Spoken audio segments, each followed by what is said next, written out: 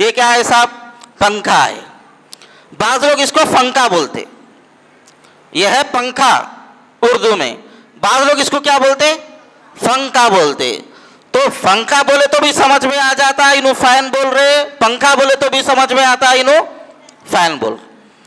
हमारे करीब में बोराबंडे का रेलवे स्टेशन है।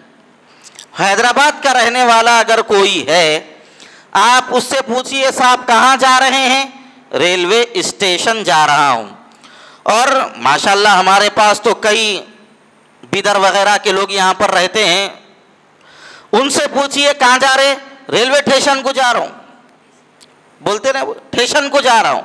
बात वही है, स्टेशन का मतलब भी वही और स्टेशन का मतलब भी समझने वाले समझ जाते हैं।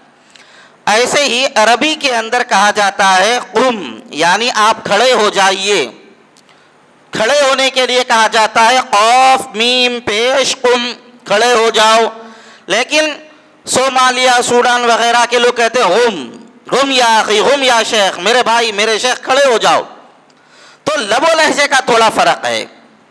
और अरब में अगर कोई सऊदिया वगैरह जाके आए हैं तो उन लोगों ने एक बात बहुत ज़्यादा सुनी होगी। किसी चीज़ के बारे में उनको पूछना होता है, ये क्या चीज़ है? तो वो लोग ए शाजा ये क्या है? ए शाजा हालाँकि वो जुमला नहीं है। असल में जुमला क्या है? अयु शईन हाजा, ये कौन सी चीज़ है? ये जुमला है। लेकिन बोलते बोलते ऐसा हो गया ए शाजा ये क्या है? तो ऐसे ही कुरान करीम के अंदर ऐसी सात किरतें हैं, जिसमें कभी किसी जुमले को बढ़ाकर बोला जाता है, कभी कम करके बोला जाता है। जैसे कुरान करीम के अंदर है, वतम्मत कलीमत रब का सिदला बाज लोग इसको पढ़ते हैं, वतम्मत कलीमात रब का सिदला दोनों सही है। ऐसे ही कुरान करीम के अंदर है, रब्बना बाइद बैना असफारिना। बाज लोग पढ़ लेते हैं इसको, रब्बना बाइद बैना असफारिना। ऐसे ही आपने एक सूरा बार बार इमाम साहब पढ़ते हैं, नमाजों के अंदर आपने सुना होगा वल्लैली इदा सजा। अब बास किरतों के अंदर इसको ऐसा भी पढ़ा जाता है, वल्लुहे वल्लैली इदा सजे। तो ये किरतों का इख्तिलाफ है। तो वो भी किरत दुरुस्त है, ये भी किरत दुरुस्त है। हुजूर ने क्या फरमाया, कितने किरतें हैं? अरे बोलो साहब, कितनी किरतें हैं? सात किरतें नहीं बोलेंगे तुम्हारा कुछ भी समझ में नहीं आता, इन्हें क्या बोल कि बोले, ऐसा होता। इसलिए ज़रा बोलो मेरे साथ। बोले तो क्या होता, ज़रा बैठता अंदर जाके उन्हें। तो कितनी किरतें हैं साहब? हुजूर ने फरमाया, सात किरतें हैं। जावेद अहमद गामदी कहता है, कुरान की सिर्फ़ एक ही किरत है। कुरान की सिर्फ़ एक ही किरत है। और जो बाकी किरतें हैं, उसके बारे में जावेद अहमद गामदी कहते हैं, वो सब अजमी ज़ुबान का फितना है।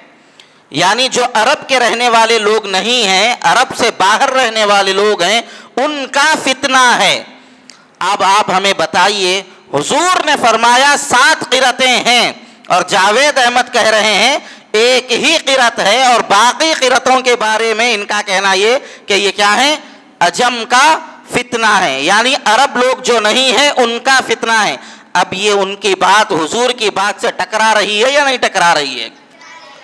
अब गैर महसूस तरीके पे अगर किसी आदमी को ये बात मालूम ना हो कि सरकार ने फरमाया, कुरान करीम की सात किरतें हैं तो हम लोग भी यही बोलेंगे हो भाई कुरान एक जैसा पढ़ना, इन्हों कैसा बोल रहे, ये ये ये कैसा बोल रहे। गैर महसूस तरीके पर आदमी गुमराह हो जाता है। तो एक बात समझ में आई, इनकी नहीं समझ में आई।